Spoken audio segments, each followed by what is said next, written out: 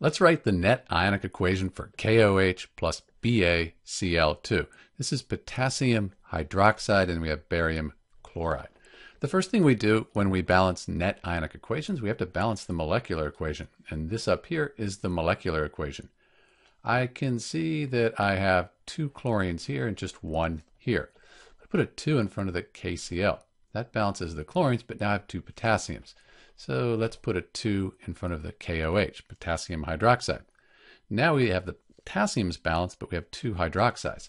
That's okay, we have two hydroxides here and a barium on each side. This is the balanced molecular equation. Now we can write the state for each substance. So potassium hydroxide, that's a strong base, so we split that apart. Chloride's very soluble, so they're going to be soluble. And then barium hydroxide, this is considered a strong base as well, so we're going to write aqueous. And that means it's soluble in water. But let's take a look at a solubility chart just to make sure. Sometimes there's some confusion about barium hydroxide. So on our solubility chart, we go down and find barium right here and then hydroxide. So we go over and down and we have this S.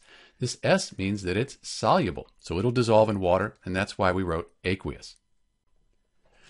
So really, when everything's aqueous, that means nothing's changed. There's no precipitate, so there's no reaction. So let's split all of these apart into their ions and see what that looks like. So as we look at this, on the top we have the reactants, on the bottom the products. They're identical. We have the same ions on the top and the bottom. And they're all aqueous, so nothing's changed. No reaction. We have the same ions we start with, we finish with the same ions. If we cross out the spectator ions, we have two potassium ions in the reactants and the products, two hydroxide ions. We have a barium ion here, barium ion, two chlorides, two chlorides. There's nothing left. So because everything's soluble, everything's aqueous, we have the same thing we start and finish with. So there's no reaction. This is Dr. B with the balanced net ionic equation for KOH plus BaCl2, except there's no reaction. Thanks for watching.